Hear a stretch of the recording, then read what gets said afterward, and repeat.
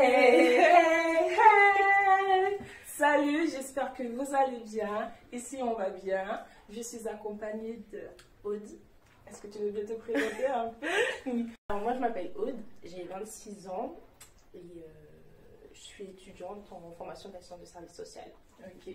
Du coup, Aude, là, tu es avec nous pour euh, nous raconter ton témoignage.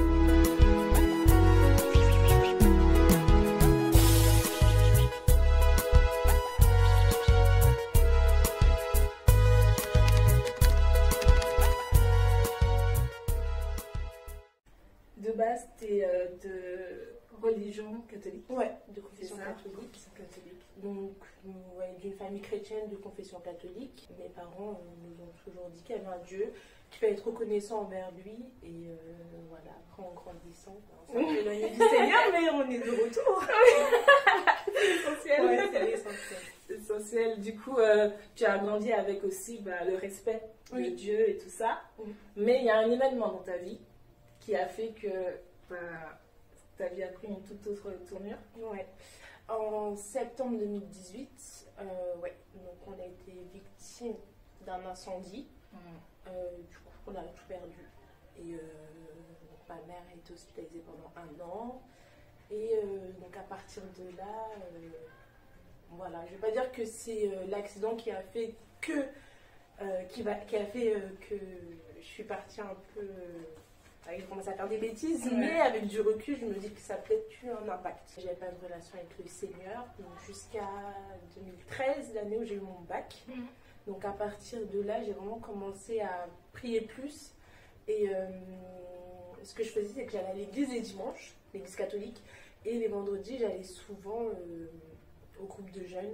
Euh, bah, du coup, euh, chez des relais. Donc, tu viens de me dire que tu allais tantôt euh, à l'église catholique le dimanche et le vendredi au groupe de jeunesse euh, à l'église évangélique. Donc tu te cherchais un peu spirituellement, Ouais. mais pas que. Non. tu te cherchais Professionnellement. professionnellement. En fait, j'ai jamais su ce que je voulais faire. Euh, donc ça fait que j'ai toujours emprunt- emprunté des voies. euh, voilà, j'ai fait un bac ES, j'étais, je suis allée à la fac en, Ouais. en L1 éco-gestion puis gestion. J'ai jamais su ce que je voulais faire, mais j'ai toujours voulu faire de grandes études. Pas parce que c'était quelque chose qui me plaisait, mais surtout pour le regard des gens. Donc je me cherchais beaucoup. J'ai fait, après avoir fait deux années à la fac, euh, j'ai fait une année des TGEA. Et euh, cette même année-là, en fait, euh, bah, le Seigneur a commencé à, on va dire, toquer à la porte de mon cœur. tac, tac, tac. voilà, donc j'ai commencé, je suis rentrée dans une dépression, on va dire. Parce que selon moi, c'était une dépression qui a duré de 2015-2016 à 2019. Mm, en aussi fait- parce que pendant ce temps-là, tu n'étais pas. Oui, voilà. Ouais, En fait, été. euh, du coup, j'ai fait euh, deux années à la fac d'Orléans et je suis partie pour mes études dans une autre ville. Mm. donc à Châteauroux. J'étais toute seule sur Châteauroux et quand je rentrais les week-ends euh, donc dans la maison qu'on a à Orléans, j'étais toute seule et j'allais travailler. Donc pendant un an, en fait, je voyais peu de personnes c'était pas facile à Châteauroux, je me suis pas fait beaucoup d'amis. donc du coup, voilà, j'étais. euh, voilà, je pense que le Seigneur m'a isolée aussi pour mieux euh, travailler sur moi, sur mon Mhm. caractère et tout le reste en fait. J'ai écrit une lettre au Seigneur en lui disant que euh, bah, j'avais besoin de lui même si mon année, enfin, ça commençait à aller, euh, comment dire ça, ça commençait à aller euh, bah, niveau cours et tout, Ouais. mais au fond de moi, bah, je pleurais tout le temps en fait, j'avais toujours euh, ce manque, Mm. ce vide, et j'ai fait une lettre au Seigneur en me demandant de, de venir euh, dans ma vie en fait, de m'aider parce que ça allait pas. Ouais. Et euh, à partir de ce moment-là, euh, j'ai commencé à partir, bah, être, je sais pas comment dire, attirée, à vouloir rechercher le Seigneur. Et j'ai arrêté d'aller à l'église catholique et j'allais uniquement à l'église évangélique. Mm. Et ce qui m'a surpris, je pense, la première fois que je suis venue, donc à l'église euh, que je fréquente, on sentait vraiment la présence de Dieu et j'ai su que c'était là que je devais être. Mm. En 2019, du coup, euh, donc l'année 2019, j'ai commencé à travailler après avoir été, euh, après avoir obtenu mon BTS Ouais. euh, dans le secteur bah, dans lequel j'ai été. Et c'est vrai que le Seigneur avait commencé à travailler sur mon caractère et autres. Il faut savoir que j'avais un caractère fort, on va dire. Et euh, lorsque j'ai commencé à travailler, j'ai décidé de mettre ce caractère de côté. Enfin, le Seigneur avait déjà commencé à me briser de toute Ouais. façon.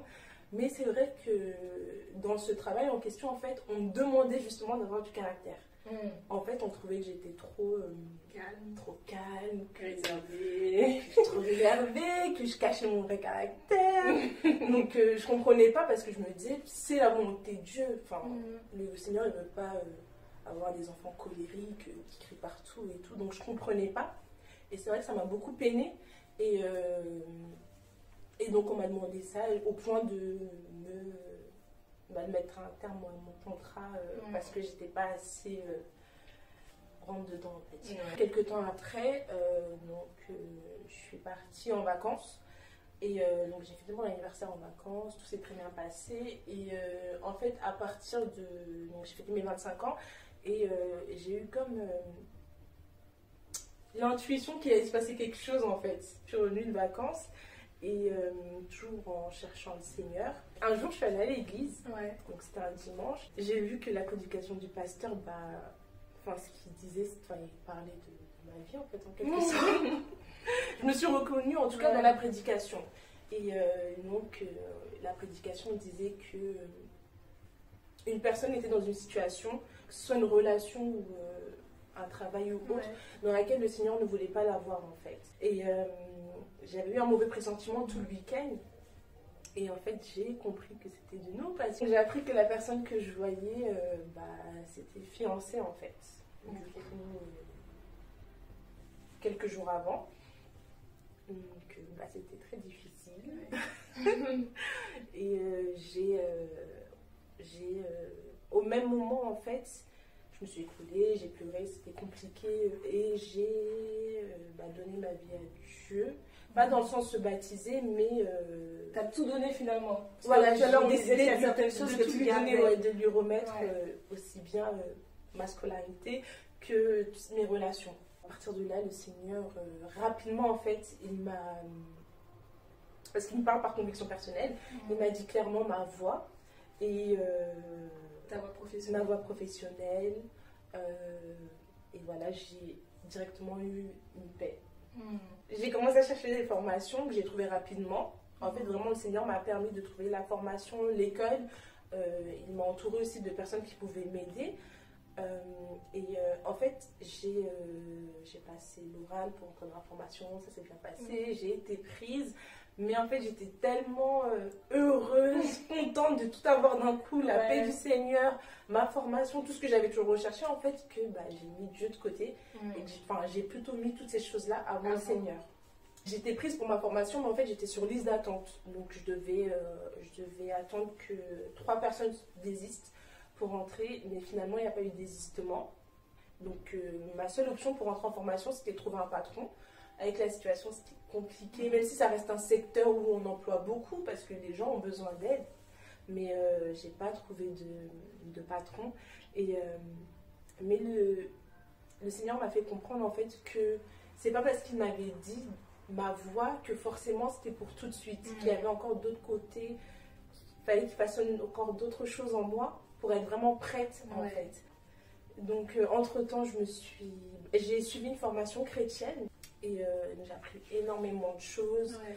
Euh, mon identité en important. euh, ouais, Mhm. qu'il fallait avoir une relation avec le Saint-Esprit, c'est des choses que qu'on entend beaucoup, mais voilà, il faut quand même être, euh, je sais pas comment dire ça, Conscient de ces conscient choses. de ces choses-là. De qui tu es, de qui Voilà, est Dieu. C'est très important. Je me suis par la suite baptisée. À la même période, en fait, où. euh, bah, ouais, à la même date. À la même de, date, ouais. di- enfin, de décalage entre euh, le mariage de la personne que je voyais Ouais. et mon baptême. C'est pas fait exprès, c'est le Seigneur. Ouais. Depuis, euh, bah, je suis en paix, je continue à chercher le Seigneur. euh, À apprendre plus de à lui. apprendre plus de lui, à le chercher, enfin, à vouloir faire sa volonté Hmm. et continuer à me briser sur mon caractère, sur ma manière de voir les choses. Euh, voilà, mais j'ai une paix qui. Enfin, pour rien au monde, je repartirais où j'étais là il y a quelques Là, tu te années. sens bien. Là, je me sens bien, je me sens à ma place. Si, euh, comme moi, t'avais un, enfin, t'as un vide, enfin, moi j'avais un vide, Mm. euh, je comprenais pas, je cherchais à combler ce vide par les formations, je cherchais peut-être des relations, mais euh, j'aimerais dire que c'est peut-être le Seigneur qui toque à la porte de ton cœur et qu'il euh, ouvre lui la porte en fait. Tu vas rien perdre. tu vas tout à tout à gagner. tout gagner, tout à gagner. Et il n'y a pas de meilleure vie que dans le Seigneur. Amen. Amen. Je pense qu'il faut finir sur ces belles paroles. en tout cas, Aude, merci. Merci à, toi, merci à toi. Euh, n'hésitez pas en commentaire ben, à, discuter avec nous, à liker, à partager, abonnez-vous. Et puis on se dit à la prochaine pour une nouvelle vidéo. Bye bye.